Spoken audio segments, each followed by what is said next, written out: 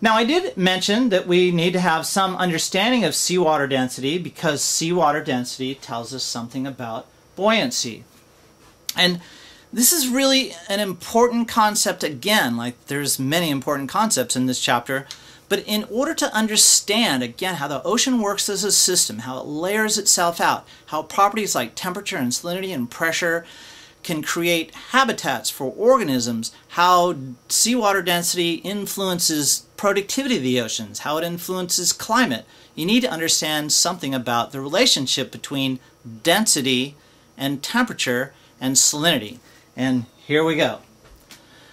So all these things, as I said, are important. Density is simply the amount of matter that you pack into a given volume. Okay, so if you think about a cereal box, uh, it has so much uh, cereal in that box, and when you open up the box, only half of it might be full, and that's because the contents settle as that cereal is transported from somewhere in the Midwest to your home here in California, and it becomes more dense. Okay, but so most of you should be familiar with the concept of density and some one thing being more or less dense than the other. But here's the official definition the mass of a substance present in a specific volume or the mass per unit volume.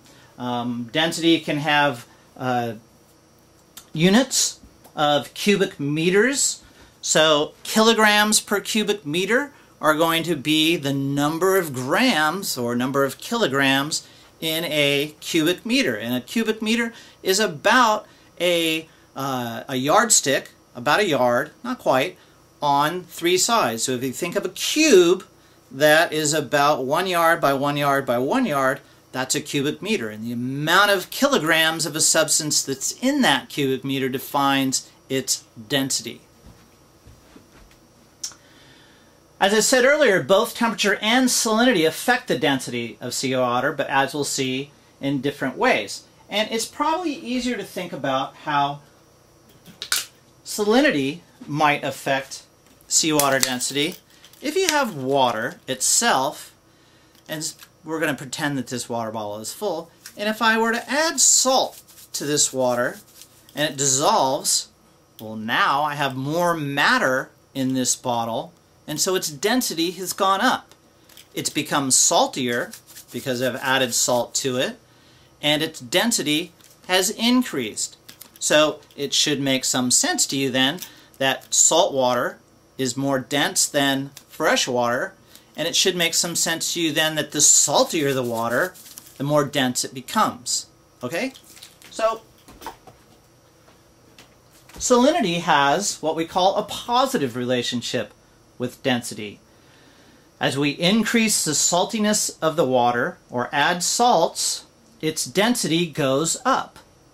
As we add fresh water, we decrease the salinity and its density goes down. Now I really want you to kind of make sure you can visualize this, okay? As you're adding salts, you're increasing the density. It's becoming more dense. As you add fresh water, you're diluting those salts. You're creating less matter per unit kilogram, per cubic meter, and it's becoming less dense. It's really important to understand the relationship between saltiness and density. And I think most people get that, but sometimes you get confused. But if you just stop and think a little bit, activate those neurons in your head, then you'll get it, okay? It's when you try to memorize it and try to remember it and recall it later that you get confused. But if you start from what you know and start from first principles and use little common sense, then you will understand. More salty, more dense. Less salty, less dense. Okay? All right, temperature, excuse me, Temperature is the opposite. Temperature has what we call an inverse or negative relationship with density. Okay, let's think about this one in the same kind of way. When you heat air up, or heat even water up, though you might not know this, but if you heat air, it expands. Again, think about the hot air balloon. It's becoming less dense. So, as temperature is going up, density is going down the air is expanding, we have less air per cubic meter, and so its density is going down. The same thing is true with water. As you heat water, it expands. It's called thermal expansion. and it's one of the contributing factors to sea level rise with global warming as a matter of fact. So as you're heating up water, it's becoming less dense. The opposite is true if we're cooling water down. If you cool water or cool air, it becomes more dense.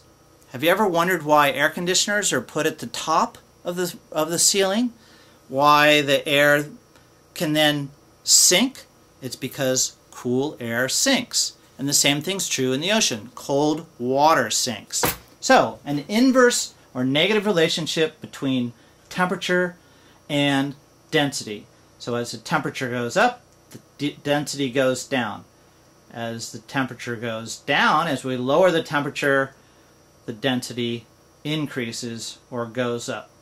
Okay? Think about those and make sure you have this. You should be able to kind of work it out just from your little mind experiments. If you need to memorize it, well, that's fine, but it's easier, and I always do this, it's easier to kind of think about what's happening and think about how that relates to the density.